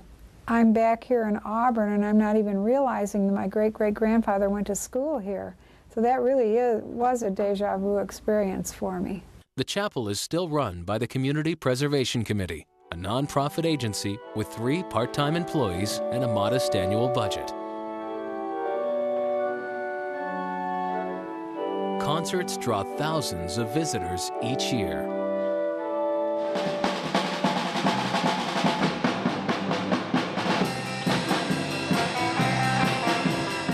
The people who were up in arms when Mike Dwyer threatened to turn the church into a nightclub don't seem to mind the rock and roll reverberating off the Tiffany windows. The chapel survived the renovation plans that could have destroyed the Tiffany artwork in 1929. It dodged the wrecking ball when the Adventists bought it in 1957, and it narrowly escaped being turned into a nightclub in 1990. Today, the chapel faces another threat time. Because of its high salt content, the sandstone on the exterior has been eroding for decades. Dr. Richard Livingston published a scientific study about the problem in the mid 90s. Since then, the red stone surface has gotten noticeably worse. So you get holes like that, and then as they wither out, the whole, whole thing will split off. The problem is only going to get worse. And then there's the roof. Ultimately, it will be necessary to replace the slate roof, um, either significant repairs to the copper gutters and flashing or possible replacement. They have finite lifespans. The windows on the sides of the chapel were recently cleaned and restored, and a major renovation project is in the works to restore the chapel to the way it looked in 1894. The most noticeable differences are the color of the paint on the walls, originally a terracotta, and the stencils on the pipes of the organ. It won't be cheap, But these efforts will help keep this Tiffany treasure accessible for generations to come. We have set the template. We have established state support and the state being a partner. And it's in our best interest, in our enlightened self-interest, to preserve something as magnificent as Willard Chapel. After surviving three major threats that could have destroyed it, the chapel is alive and well. And the seminary that once flourished in Auburn is now thriving again in New York City. Auburn Theological Seminary does not confer degrees, but continues to stress its frontier spirit while embracing a new mission. That has burgeoned into two educational centers focused on Christian leaders and institutions, strengthening them, and then a Center for Multi-Faith Education um, that brings people together across lines of religious difference Christians, Jews, Muslims, and others. Innovative programs like the Face to Face, Faith to Faith program bring together teenagers of different faiths from places torn by religious conflict. And so they go back and work for at least a year with the face to face program on the pressing issues that face their communities. In, in Israel and the West Bank, it would be um, what we know there. It's, it's peacemaking in that region. Same would be true in Northern Ireland. And then in places like South Africa, HIV, AIDS, and education around that issue, that's the pressing social issue for them. For more than 130 years, Auburn graduates traveled around the world to win new converts to Christ. The mission today has changed. Conversion is not the goal. Conversion is not the goal. All of us from our different religious traditions are called to witness to others um, about, about how God has revealed God's self to us. Um, and that would be as true for Christians as it would be for Jews, as it would be for Muslims. I mean, you have to, or, or others, um, or how you understand deity or the power beyond oneself, or whatever, whatever it is for Buddhists and others. Guido Verbeck, the famous missionary to Japan, wrote that the Buddhists were a strange set of men whose teachings were instigated by the father of lies himself. In his commencement speech in 1890, Reverend Courtney Hughes Fenn described Islam as the most resolute opposer of the religion of Jesus Christ. How would these men and Auburn's fervent evangelical founders embrace the seminary's new role? They recognize that simply embracing a set of doctrines is not a matter of signing on the dotted line of a set of propositions, but of having your whole life reshaped by what Jesus Christ was about. And Jesus Christ was about the repair of the world. They were ready for whatever the world threw their way. And I think that they would have been ready for these new social realities that God has thrown their way.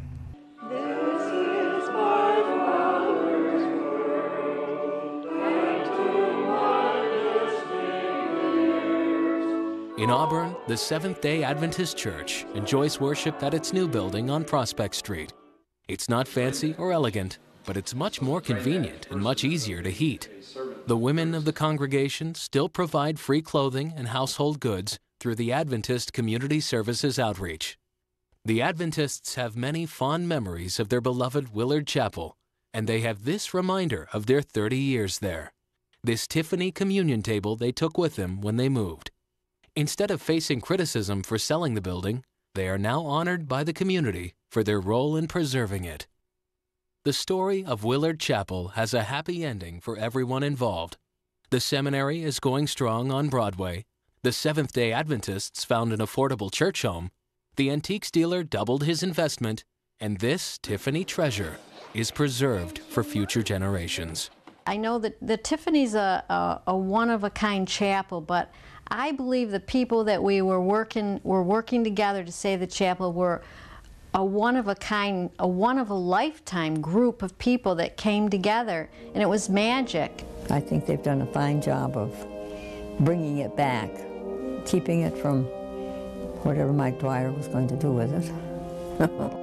the threat was, uh, there was never really a threat. People took it as a threat. Uh, the, it was more of a ploy to, to get people off their, to either, you know, either go for it or not go for it. Mike really, whether he, he meant to by, by design or not, really did a lot for the community. The people should give uh, Seventh day Adventist uh, um, a lot of credit. They, they, through their hard work and elbow grease, they saved it. So it could be taken over the way it is. In any community, and Auburn is no exception, there are people who see things and say, why doesn't something, somebody do something about that? And they usually point to someone else. You got to do something about that. What we had and continue to have in Auburn, we're blessed with people who heard that message and said, I'm going to do something about it. If you believe in a specific purpose and you have a mission and you get together with the right people, you can do just about anything.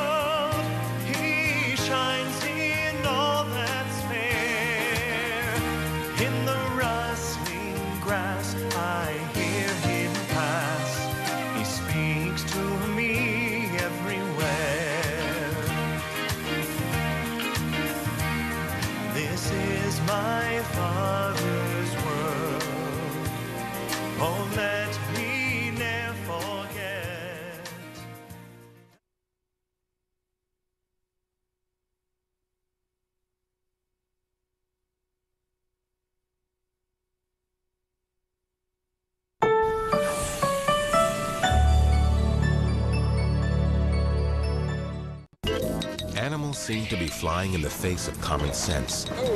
It feels like they have us surrounded. This used to be absolutely dead quiet here. And with global trade moving animals around the planet faster, potential conflicts are on the rise. They are a real force, and they can really take you down. Is there a solution, or is this a problem going from bad to worse? Next time on Nature. Tonight at 8 on Central New York Public Television. WCNY and Pathway Tours are proud to bring you Daniel O'Donnell with Mary Duff in concert Monday, August 10th at 2 p.m. in the Times